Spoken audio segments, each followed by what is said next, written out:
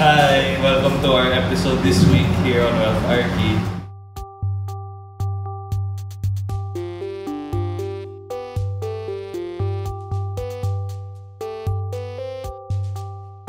Hoy! Sino ka? may, may, may nang hi sa channel lang. Hoy, hindi. Hi! Ah, Napulot, napulot lang namin sa kanto to. Grabe. Hello! Yan. Sino tong impostor na to?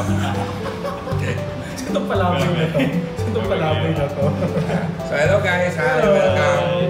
And kung nagtataka kung sino to, this is Adriel.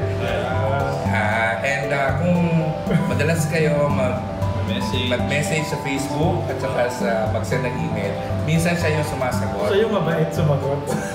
Oo, pag mabait yung sagot, siya yun. Ah, Kapag bataray, si Renzi. Yun. tapos mga one word phrases. Oo, pag tamad yung sumasagot, ako yun. Kasi mga 3 to 4 words lang yung nasagot ko. Yung mga nag-okay lang. Yes, let's go na. Yeah. Minutes na yan. So, kasi na- naisip namin, kailangan ng, ano, ng fresh face Fresh sa ating face. YouTube Oo. channel. Additional millennial. Oo. so, sama namin si Adriel. Oh, Ah, ang who- junior planner. Ah, aming Ah. junior financial September. Oo. So, Adriel is uh, our junior financial planner sa Arcade. And, Train na train yeah. by us. So, din ng RFP. Oh. Uh, he's also a registered financial planner, no? So, alam mo pag-usap, alam mo pag-uusapan natin this Ah, afternoon? may nakita ako kasi Ah, na nag-viral. Ano Sa yan? Facebook, sa social media. Sino yan? Yung, yung nagbanyo ba yan? Hindi. Ay, hindi. Yung ano, yung... Yung ba yung nagsabi ng mga masasamang Words. mga words? Masasamang mga words. ano yung, ano yung viral na yan? Kasi nakabili daw siya ng isang financial product Na na isang V na bull. VUL. Ah. Oo. Tapos, sabi niya, Si Bull lang naman. si bakit daw yung VUL niya? Oo. Eh hindi, parang at ano ba yun? hindi siya lumaki dun sa projection. Oo. So, Kasi pag bumibili ka ng ng Ah. insurance So, marami investment, ah, pag bumibili ka ng insurance product with investment, oh, Usually, one of the sales pitch nung ahente Mm. is yung investment part mo, lalaki siya Mm. after X years, Oo, ito na tapos, yung value mo. di ba may projection ka doon, di ba? Oo, Usually ano yung mga for- usually yung projection doon? usually for 8, 10. Oh, yeah. sa 8%, ibang 8%. companies, magiging for 6 tapos 10. So, depende na. Oo, oh, yun, gano'n. Pero, kasi projection siya, projection siya. Hindi Hindi, siya guarantee. guarantee. so ito nagreklamo na to, ah, unfortunately, yung naibigay sa kanyang projection, hindi na Hindi natuloy. hindi na-achieve. Oo. Eh, pero siya, Ang asang-asa inisip siya na niya, makukuha yun. Oo. So, hindi. So, medyo parang yung expectation niya, hindi gumanon. Hindi na meet. Hindi na Oo. hindi na meet. So, yun ang So, pag kanya kasalanan yun. Hindi ko alam. Hindi ko alam. Hindi, sige. Pag-usapan natin. Pag-usapan natin. Uh, Okay. Well, una muna sa akin kasi if you're buying a financial product, lalo-lalo na yung BUL, Mm. kailangan alam mo kung ano yung pinapasok mo. alam mo kung ano yung ano yung binibili mo kasi Mm. ang BUL, marami siyang iba't ibang terms. Tama Oo. ba? Daming terms yan. Marami siyang iba't ibang ah, mga policies. Hindi Mm. lang yan. Marami ding underlying funds na baka nakapekto sa investment growth. Oo. Dahil yung projections kasi sa likod, fixed na kasi yan based on standard ng company. Oo. And alam ko yung mga projection na yan is nakaset ng insurance commission. Oo. Kung anong projection na, para may cap yan or may limit. Tapos kontrolado siya, hindi sila pwedeng malagay ng kahit anong projection ng ilagay. Oo, okay. Yan. So at the most basic, you're buying an insurance, a life insurance product with Mhm. investment component, di ba? Mhm. And as we've discussed sa previous video natin, pag nagbabayad kasi isang VUL, Oo. meron siyang May portion dyan na tinatawag na, di ba? Premium Premium charge. charge. Oh, yung premium charge, napupunta saan? Sa cost of insurance na. Okay. sa cost of insurance. Meaning, napupunta sa insurance. Tapos, yung Yung investment investment. component, napupunta sa Cash value sa oh, investments. oh, na. sa investment. Oh, so yung binabayad mo, Nahati. lahati. And karamihan ng mga VUL, di ba, you are insured hanggang age 100. age 100. Pero usually, ilang years mo na siyang babayaran? Depende sa ano, So kunwari may mga Sa- 10 years to pay. Oh, May may five 10 years to pay. Oh, may 5 years din. Meron Depende ding one- talaga sa meron ding one advisor.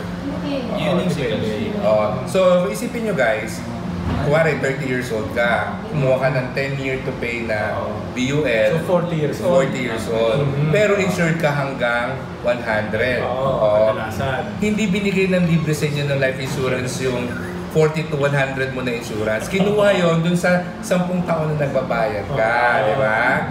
So, yun yung sinasabi namin na yung premium charge ng life insurance na binabayad mo, a part of that goes to the life insurance cost hanggang age 100. Mhm. So by the time na matapos mo yung 10 years mo, parang na-cover mo na yung cost ng life insurance mo after age of 100.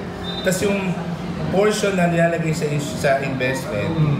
doon pa lang talaga siya lalaki. Oo, doon pa lang So in short, hindi lahat ng binayad mo sa BUL is naka-invest. Pwera dun sa single pay.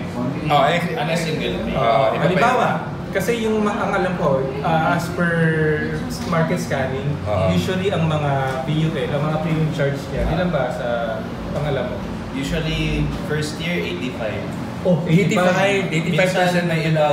May alam ako 90. 90 Oh. May So, ibig sabihin, full ano? 100. 100? for the first year. First year First year. Tapos Ah. nababa to 55. sa second. Ah, So, kasi parang ganito. binabawi. So kumbaga, kunwari, nag-invest ka 100,000, halimbawa, kung 100% ang premium charge, ibig sabihin, Yung buong 100,000. 100,000, hindi mo na-invest yun. Binayad lang sa Binayad lang pangbayad ng ng insurance. life insurance. Halimbawa, sabihin natin yung iba, may premium charge na 50%. So Oo. kung nagbigay ka ng 100,000, ibig sabihin, kalahati nun, napunta sa pangbayad ng insurance. Kalahati lang yung mag invest. Kaya at the end of one year, for example, kung, kung 100% ang premium charge mo, wala kang investment. Oh, wala pang cash value yung Wala pang cash value. investment. So wag kang umasa on the first year, may investment. Oo. Tapos usually yung tubo na yan, dahil may charges, matagal pa. Oo. So usually mga ilang years bago mo maramdaman na Tumataas. dumalaki na yung cash value or yung investment part ng isang BUL. Depende kasi sa policy eh. Oo. At depende rin sa market conditions. okay. And yung underlying fund. Underlying fund, meaning kung saan ini-invest. Kung saan naka-invest. Okay. So, kung- usually ikaw yung namimili nun, di ba? Usually, pwede ikaw, Or pwede yung advisor. agent. Oo, yung advisor. Pero if you want to be safe, better na ikaw yung pipili. May risk appet, may mga risk. Ah, may mga ano risk. yan?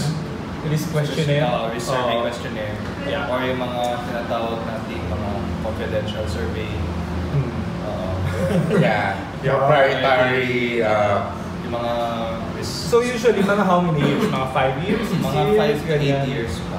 bago ka makaramdam na medyo Hmm. lumalaki yung value. Oo, kasi nga, again, when you invest or when you put money, not invest really, but when you put money into BUL, kumbaga, instead of yung buong pera mo is na-invest, okay, a big portion of that is tinatanggal.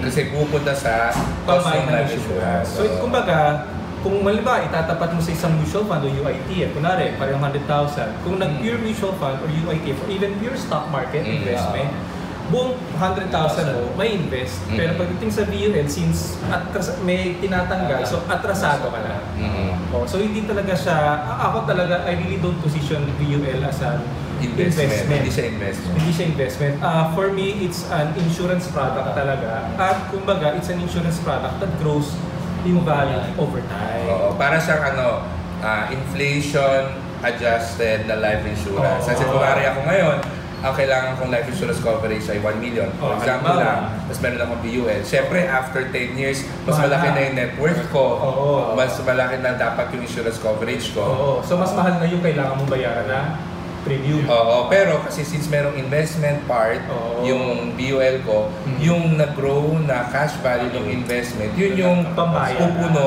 dun sa additional na life insurance coverage na kailangan ko because Oo. lumaki na yung net worth ko. Na hindi mo na kailangan na Bumili ng bago. Bumili ng bago Oo. insurance at So- a higher cost. Oo. so it is an inflation-adjusted Mhm. financial protection product. Mhm. Hindi siya investment. Oo, exactly. So yung BUL na nag-viral, sabi parang after 10 years daw, negative pa talaga yung cash value. Mas maliit pa yung Oo. yung makukuha niya Mm. kesa dun sa naibayad niya. Mm. No? So, unang-una sa akin, hi- walang anomaly doon kasi Oo. yung difference na quote-unquote na lugi niya, Oo. pinambayad mo yun ng life insurance eh. Bumili ka ng life insurance, di ba? Pangalawa, sabi mo nga kanina, yung underlying Fund. fund, baka kasi nag-equity siya, no? Nag-stock Okay. market. Oo. tapos baka yung fund. Ngayon, negative ang Of mababa ang stock market ngayon. Yeah. So, you can expect na medyo mababa yung cash value ng investment part, no? Again, the projections na binibigay doon are not really commitments. Projection lang yun. It can happen, it cannot Oo. happen. Depende sa galaw ng market. Oo. Like, alam ko, previous one year, down pa stock market. Yes, oo. So don't expect as much. So kumbaga, yung binayad mo, binawasan ka na, yung investment component mo, mababa ka kasi down ang market. So it's really uh, double down. Parang a function of both. Mm, Kaya pag meron kayong nakausap na financial advisor at sinasabi sa inyo na, Sir, ma'am, ito po ang matatanggap Sir, ninyo oo. after 10 years. Nako! Ah, hanap kayo ng ibang agent kasi Oo. nagsisinungaling siya sa inyo. Oo. Kasi Okay. importante, nag-review kayo sa agent nyo at least every year. Oh, Ah. Para makita niyo kung ano na yung progress ng fund. Oo, kasi hindi siya parang Oo. hindi siya sa parang chichirya na binili mo sa Oo. tindahan tapos hindi ka na babalik, di ba? Mm. So, Oh, tama, tama. Tapos, so maganda rin na, listen, check nyo rin no, kung underlying fund niyo. Kasi baka mamaya, eh, kunwari, kinuha mo siya ng 30 years old ka, kung 55 ka na, 60 pa, retire ka na. So, syempre, kung ano, libawa, yung underlying fund mo is stock market, eh, dapat ka na, nilalagay mo na sa bonds. i-shift mo na Oo. o sa bonds na mas conservative kasi retire ka na. Which the financial advisor can help with or Tama. Someone na katulad namin na financial Oo. planner, Yes. registered Oo. financial planners. Yes, that's right, that's right. Ano pa ba? Ah, another thing pa pala, no, dapat tingnan nyo rin yung cost ng insurance. Mm-mm. Kasi Kasi nasa likod naman. nasa likod. Oh, ayun. i-explain naman. Tingnan nyo rin. Marami kasi hindi nagbabasa ng policy. Basahin nyo. Basahin. Or actually, di ba, we, off- likod din sa benefits table yung charges. we actually offer that service, no, yung, Mm. ah, ang tawag mo insurance, audit. Insurance Oo, audit. so, if you're, you're planning to get a life insurance policy and you want us to check if that's something that will help Kasi you. maraming tanong yan eh. Parang, Oo. sir, oh, eto ah, Oo. magtatanong sa amin, okay po bang nakuha ko to? Eh parang nabili mo na din. Yes, so which we will discuss in another video. Yes. Okay. Pag-usapan natin yan. So, I guess yun na lang Oo, muna. yun na lang muna. So, siguro ano, no? So, siguro before buying any financial product, especially sa Due diligence. okay? Due diligence, have your research, magtanong sa financial advisor, itanong nyo yung premium charge, okay? Kung magkano yung ibabawas na mapupunta sa insurance. Tapos, tingnan yung maigi dun sa chart note, yung projection, wag yung tingnan yung nasa baba lang. Kasi I'm sure million yun. Ang tingnan mo siguro yung first five years. Makikita mo dun kung talaga. More or less yun yung medyo Oo. masusunod. Importante talaga yung First five. Yes, and yeah, uh, talk to your insurance agent every year, di ba? Yes, yes. Kung na nagpaparamdam, ayun. Kulitin ninyo. Kulitin niyo or nandito naman. Yes, Oo. yan. Pero dapat kasi, di ba, kung magre-resign na yung advisor, Dapat sinasabi. ini-endorse sa Sa iba advisor. sa ibang advisor, okay? Okay.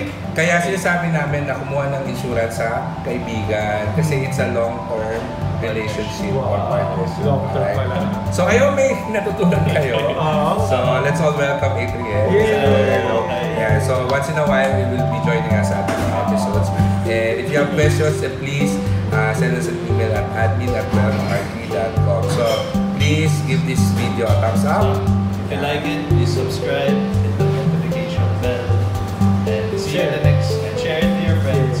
And see you in the next video. Okay, bye-bye.